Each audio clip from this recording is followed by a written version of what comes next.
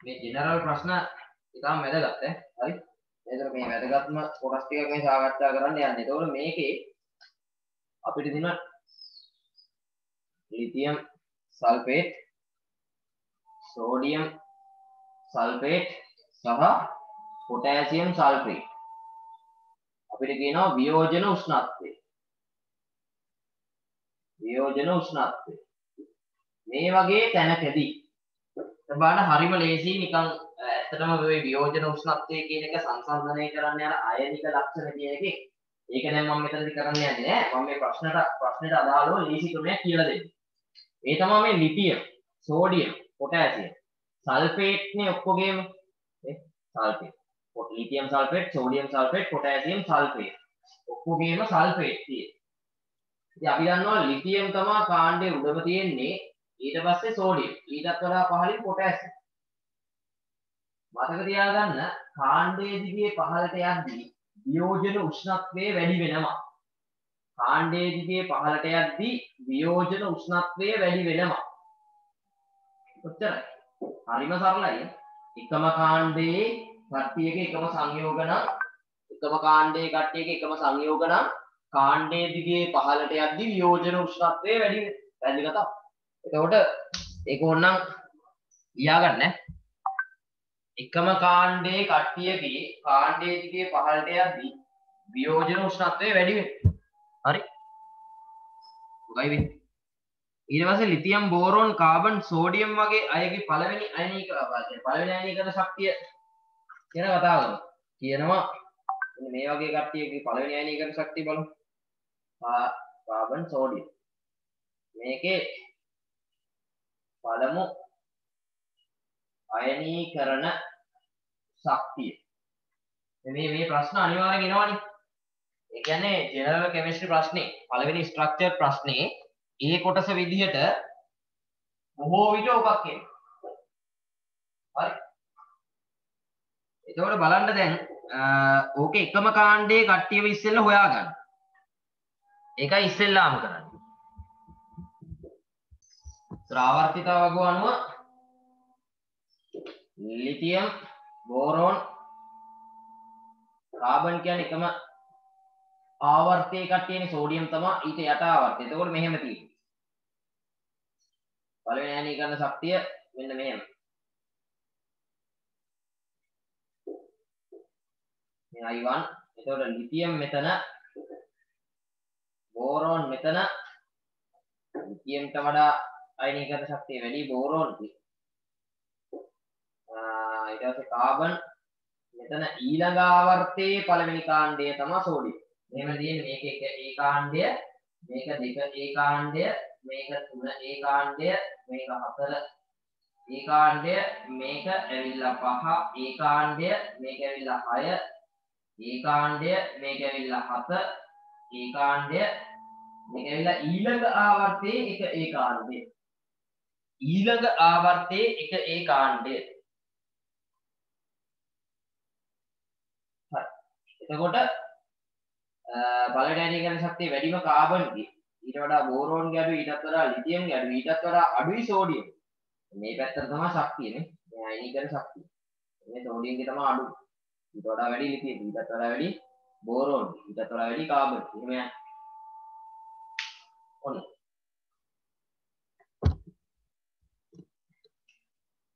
ඊට පස්සේ මම මෙහෙම එකක් සාකච්ඡා කරනවා sodium chloride.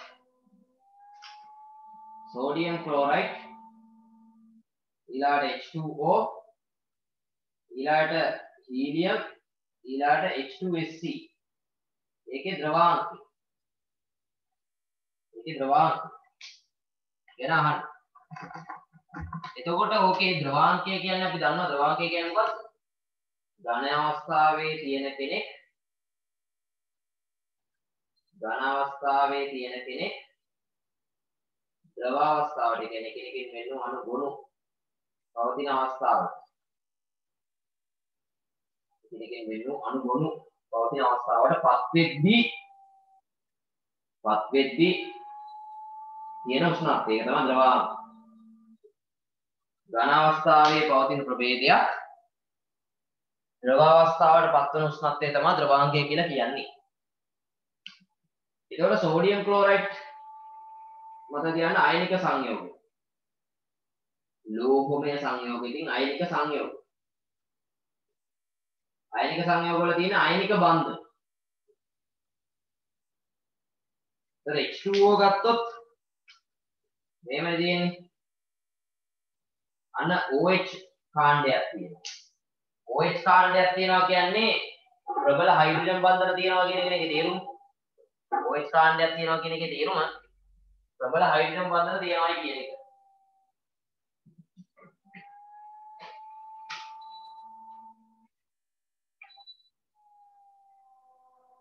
එතකොට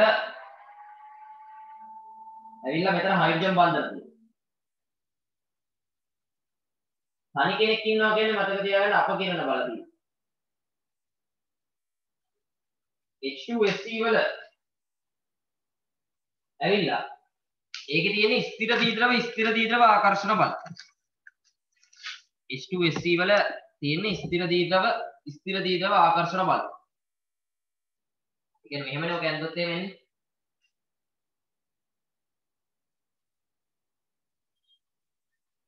එන්න.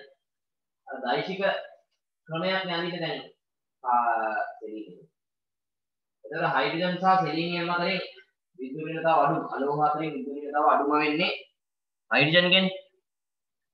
එතකොට hydrogen delta plus selenium delta minus. ධනාන්තය ඍණාන්තයට දෛශිකාන්නවා.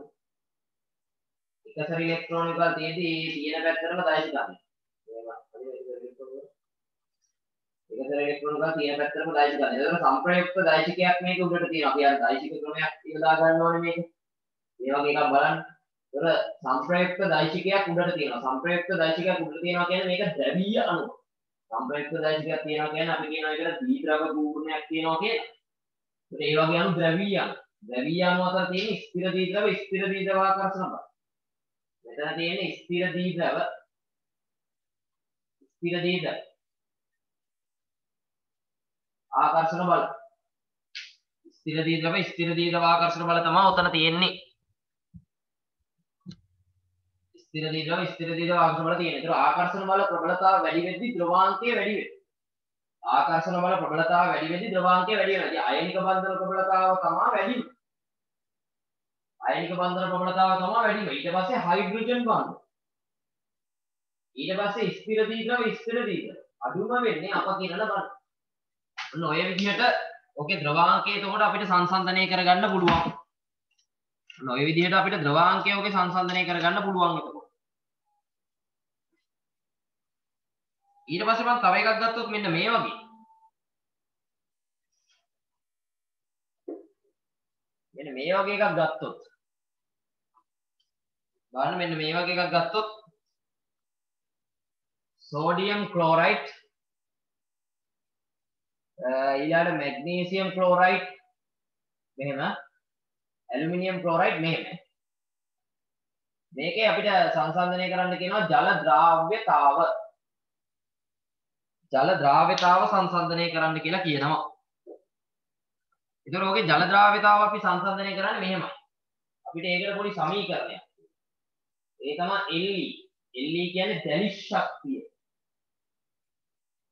දැලිස් ශක්තිය Q1 වැඩි කිරීම Q2 බෙදීම R1 ධන R2 කියලා සමීකරණයක් තියෙනවා. මේකෙන් තමයි ඔය අයනික මේ ඔක්කොම ලෝහමය සංයෝග ඒකින්ද මේ ඔක්කොම අයනික සංයෝග මේ අයනික සංයෝගවල ජල ද්‍රාවිතාව අපි සංසන්දනය කරන්නේ දැලිස් ශක්තිය මගින්. දැලිස් ශක්තිය මගින්. ඒ කියන්නේ අයනික සංයෝගයකට තියෙනවා දැලිස් ශක්තියක් කියන එක. අන්නේ දැලිස් ශක්තිය වැඩි වෙද්දී අයනික සංයෝගයේ ජලයේ දියවීමේ හැකියාව අඩු වෙනවා. ඒ කියන්නේ දැලිස් ශක්තිය දැලිස් ශක්තිය වැඩි නම්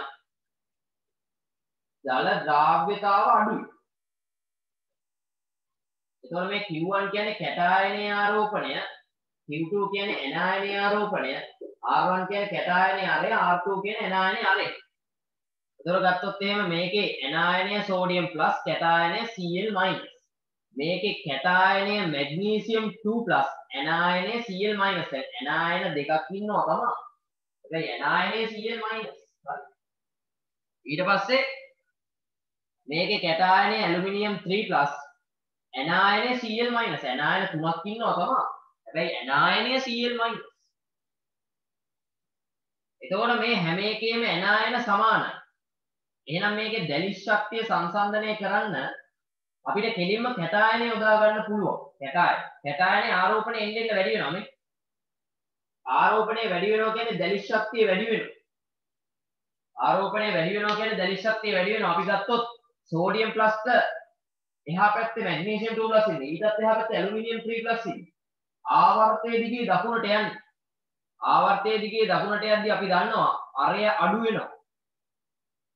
අරය අඩු වෙනවා. ආවර්තයේ දිගේ දකුණට යද්දී මේ පැත්තට ඒතර අරය අඩු වෙනවා. අරය අඩු වෙනවා කියන්නේ ඒත් දැලිස් ශක්තිය වැඩි වෙනවා. දැලිස් ශක්තිය වැඩි වෙනවා කියන්නේ ජල ද්‍රාව්‍යතාව අඩු වෙනවා කියන එක. දැලිස් ශක්තිය අඩු වෙනවා කියලා කියන්නේ sorry.